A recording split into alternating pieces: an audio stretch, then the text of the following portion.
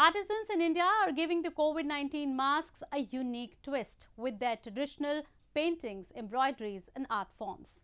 These are increasingly becoming popular and also helping them revive their income that took a huge hit during coronavirus lockdown.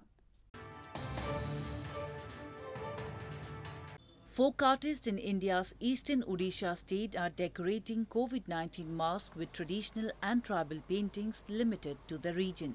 The masks are fetching good price in among art aficionados. However, an indiscriminate eye isn't hesitating to bargain either. The artists are mainly exploring Pattachitra art, a form of traditional cloth-based painting practiced in Odisha and neighboring West Bengal state.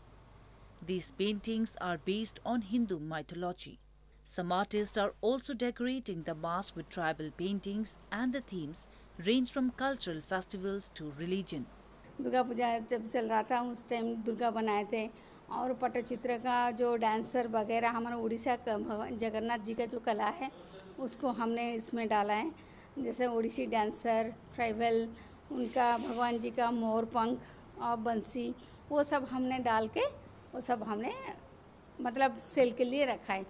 After their business took a huge hit during coronavirus lockdown, several artisans are slowly trying to get back on their feet and masks are helping them revive their income. Indian government on March 24 ordered a nationwide lockdown limiting movement as a preventive measure against the COVID-19 pandemic. As of Friday, India's total number of cases surged to 8,088,851.